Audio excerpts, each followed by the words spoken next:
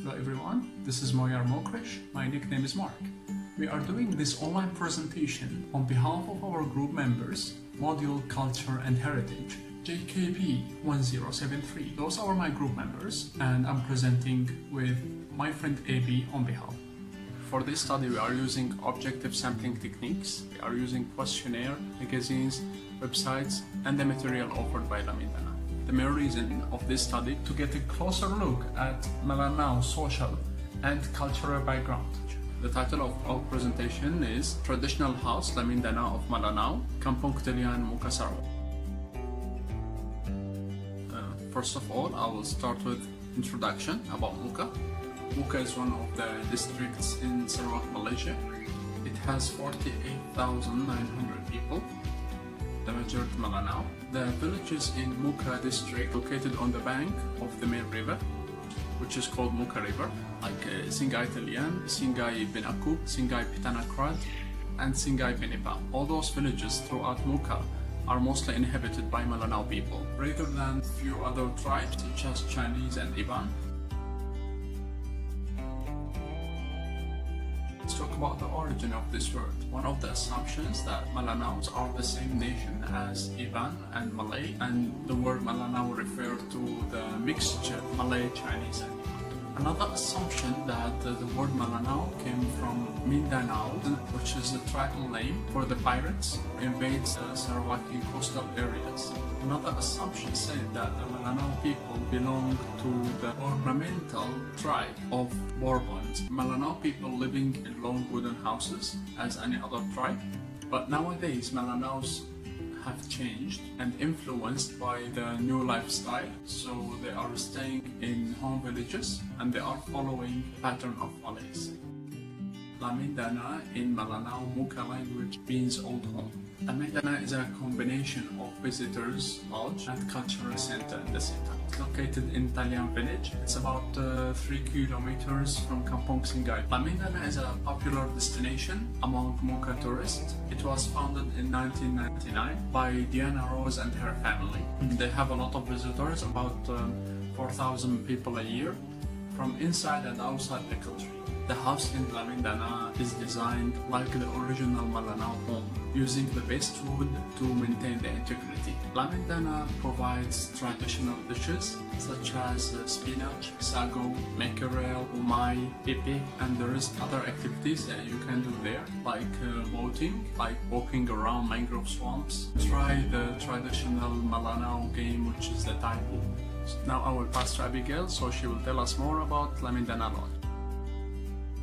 Okay, so talking about the Lamindana Boutique Lodge, as for the packages and trips, there are various um, customized holiday packages for visitors and tourists. Eventually, um, the purpose of customized holiday packages for tourists is to give the tourists to make their own choices and decide desired places for them to stay at there. The customized holiday packages are tailored to suit the visitors and tourists as for per night is around 180 US dollar, which is equals to 784 Malaysian ringgit. Whereas for three days, two nights packages are slightly expensive than the one night, obviously, which is um, which costs around 250 US dollar of 1,088.88 cent Malaysian ringgit. About the holiday packages, um, tentative table activities, there are great amount of programs, activities on different days, morning, afternoon, and night, such as long boat ride along the Telian River, visiting old Mukah Town markets, visiting Sapan Pulo Melanau Mini is a mini museum. Also, Sunset Beach Walk, photo sessions. These are all the listed activities and program. The fun part and the good part about this is that all these packages are included with a local tour guide um, straight from the Mukah airport because from there tourists won't have to worry about losing the routes or like you know get lost. So I think that's a very reasonable types of holiday packages that you would spend on. The list of items such as handicrafts that are found in Lamindana. What can I say about is Melanau people actually do their handicrafts um, like using authentic materials, using good quality materials to produce those handicrafts.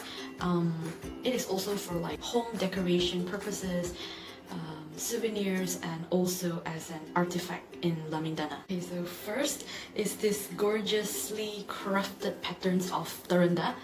It is well known for its amazing features on how the villagers, um, fishermen use for planting, fishing, maybe farming, and to do this Terenda, it requires a, like a highly skilled people um, to do because it needs high skills and techniques to make a good weaving. Secondly, it's the Melanau traditional costumes for both female and male. For the female, it is styled with a Brunei woven songket in black velvet. Um, with the Melanau's waistbands, sparkling necklaces, two sheets of red scarves on the chest, and a pair of rings and hat. As for the male costume, um, they usually paired it with um, a Sengkulon dress, floral songket, stylish cutlery, and different colors of necklaces and bracelets. It's not only about the uniqueness of their cultures, but also the way they do, they make their traditional clothing and all those handicrafts are like has its own uniqueness. Thirdly is the batik linut, which is an imaginative way of producing textile designs using sago flour to produce poplin cottons, um, spun cotton, and also the silk and viscous cotton and therefore this fabric has variety of colors, size, um, different patterns on the surface of the fabric and it is known to be wear on different kinds of occasions like special occasions during their festivals, Melanau festivals. And next is the Melanau musical instrument. They use this um, instrument in different kinds of occasions which just looks basically looks like a gong. As people use this musical instrument this gong um, for the past all days and also today. Last but not least it's a doll which they call ballet which has been a decorative items and also it's as a souvenirs. If you go to Lamindana they actually have a lot of these dolls um, hanged or put or like arranged on the table. This doll has its own uniqueness that is made out of fabric, sequins, beads, and those um, fabrics, cotton threads that Melanau used to do. Um, this doll actually has passed this down from old generations to generations nowadays and it is still kind of a famous thing and a nice decorative items. The Lamindana house is also known as the House of the Living Legend. It has been a place um, of tourist attraction for many years until today.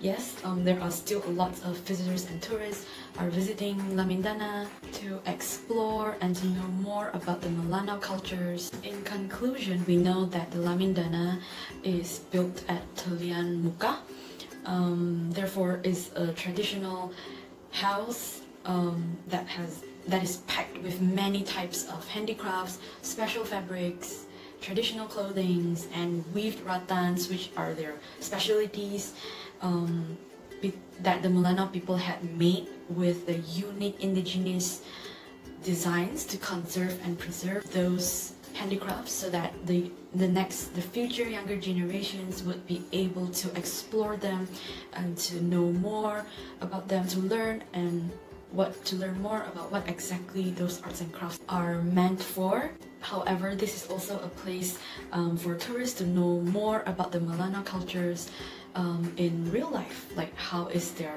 real life status, how they do, how they make things work, um, especially how they make their traditional handicrafts, in their unique way. And that's all for now. We hope that it gives you a quick, easy, digestive information about the Lamin, the famous traditional Lamindana house. We really appreciate you for keeping us up until the end of this video. And thank you. Have a nice day. Stay safe. Thank you, Abby. On behalf of all the group members, we would like to thank you for watching and we hope we give you useful information